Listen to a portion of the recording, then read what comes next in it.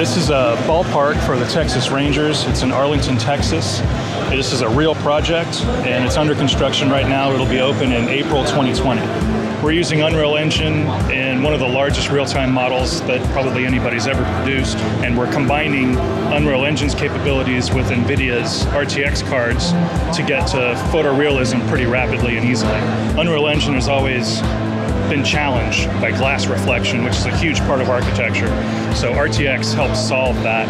And then it also brings in a lot of more subtle effects like ray traced ambient occlusion, ray traced shadows, and all of those little subtleties combined together to make a much more realistic image.